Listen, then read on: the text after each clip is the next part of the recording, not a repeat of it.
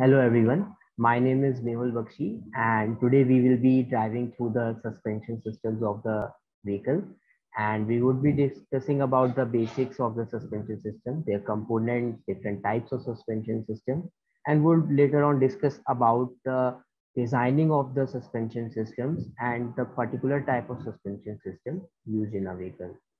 So first coming to the what a suspension do. So basically suspension system provides a ride comfort by minimizing the effect of road disturbances and it improves the road holding characteristics of the vehicle and motions like rolls and pitch are kept at minimum by the help of suspension system. So like here we can see what a roll and a pitch is. So like if this is the longitudinal axis of the vehicle, the x-axis we take it as. So if the vehicle rotates about this axis, then it is known as the rolling. While if we uh, take this as the y-axis and the vehicle rotates about this uh, axis, then it would be known as pitch. And as well as we have another mm, uh, motion, which is along this vertical axis, the z axis. And if the vehicle rolls about this axis, then it is known as the yaw. So now coming to the major parts of the suspension system. So we have the springs, which are the energy absorbing devices. Then we have dampers and shock absorbers, which are energy dissipating elements. And then we have suspension links, other components uh, to provide the support to the suspension.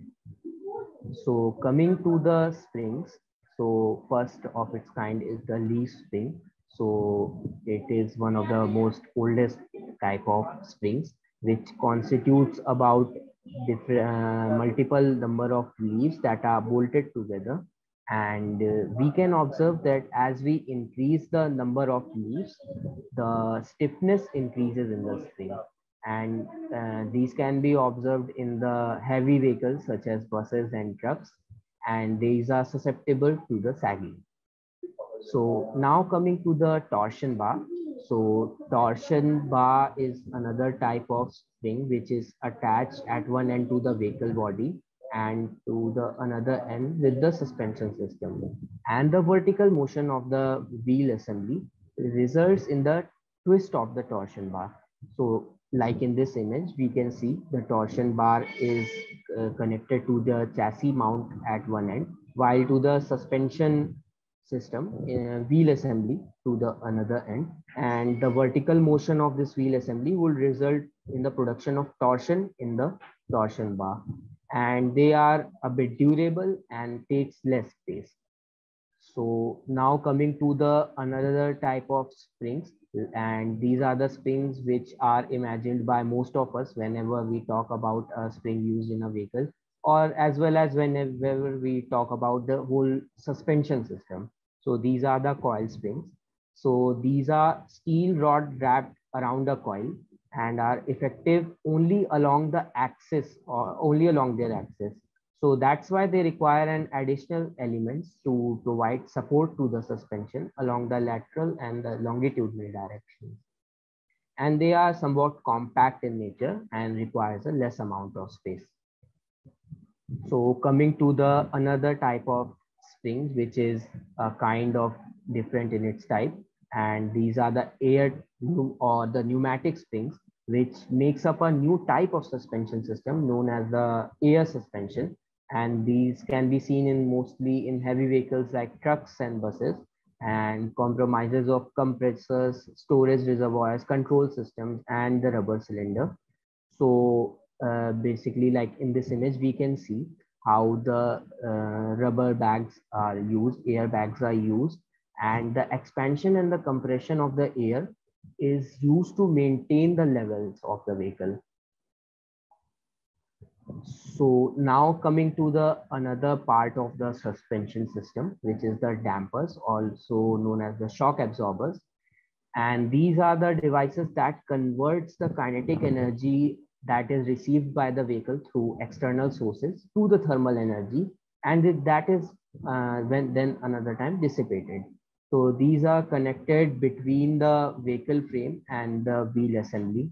So what happens inside the damper is that the damper has a piston inside it uh, and it's uh, in the cylinder known as the pressure cylinder and the piston is immersed in an oil which is almost incompressible so like if there is a uh, motion in the vehicle which is the kinetic energy then it results in the uh, upward and downward motion of the piston uh, throughout in the oil so what happens is that there are small orifices in the uh, piston.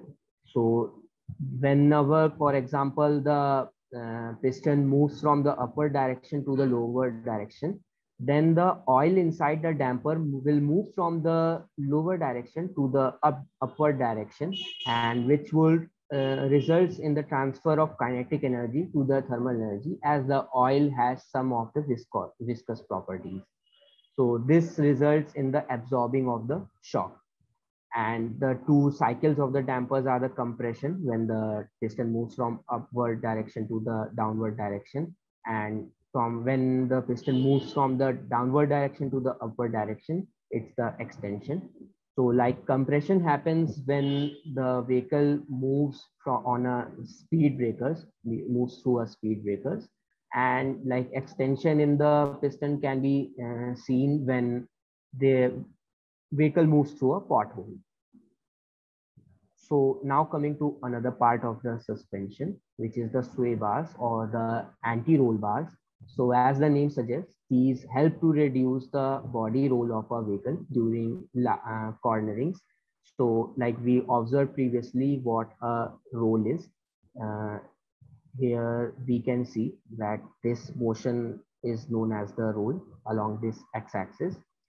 So this anti-roll bars try to resist this rolling as this can be devastating if the rolling happens suddenly. So these are connected to the opposite sides of the wheels like left and right uh, wheels are connected to this uh, sway bars. And here we can see the position of a sway bar in a vehicle. So now coming to the types of suspension. So we uh, have, uh, can see the types of suspension from different perspectives. So like if we see from the perspective of performance, then we have passive suspensions, semi-active suspension, active suspension.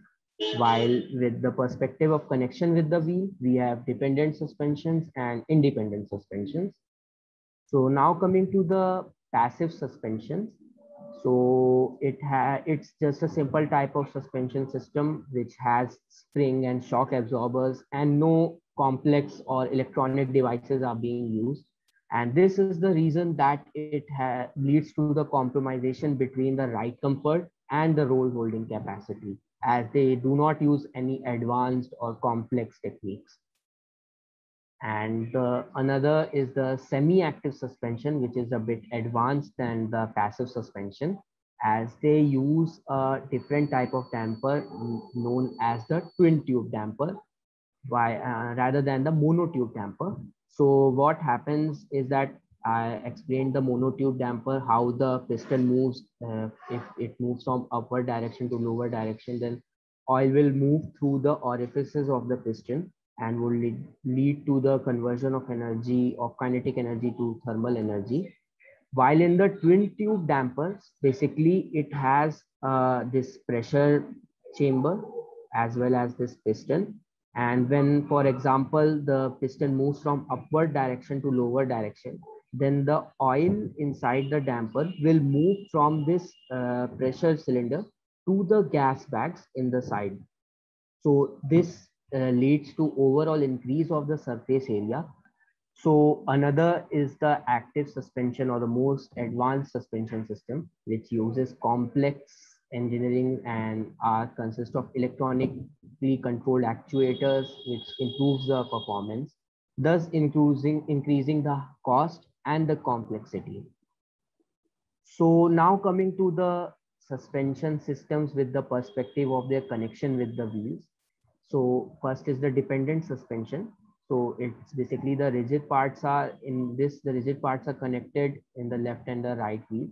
And what happens in this is that uh, deviation in one side of the wheel, for example, if there is a change in position on the right side of the wheel, then it would lead to the change in the position of the left side of the wheel also. It will affect the position of the left side of the wheel.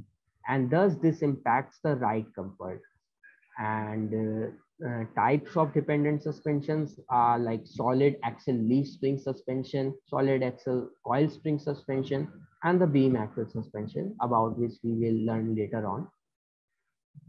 And another type of uh, suspension is the independent suspension, which is almost the opposite of what the dependent suspension do. So in this, the, the motion of the two wheels are independent to each other. Like if there is a uh, motion in on the right side of the wheel, then it would not affect the position of the left side of the wheel, thus increasing the uh, ride comfort of the passengers. And the types of independent suspensions are used are MacPherson strut, double wishbone suspension, and trailing arch suspension. And these are the suspensions that are used most of the times in the vehicles. So like in this image, we can more better imagine how the, what's the difference between dependent and independent suspension. So if we see in the dependent suspension, if there is a deviation in the one part of the uh, wheel. So it changes the position of the another uh, side of the wheel what uh, compared to what it was when the vehicle was in the plane.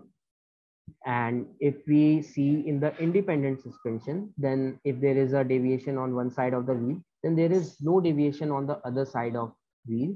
And it is almost uh, in the same position as it was when the vehicle was on a plane condition. So with this, we come to the end of the basics of the suspension system. And in next video, we will be talking about the uh, suspension system, their designings and the types of suspension systems and parts used in a normal type of vehicle. So thank you very much.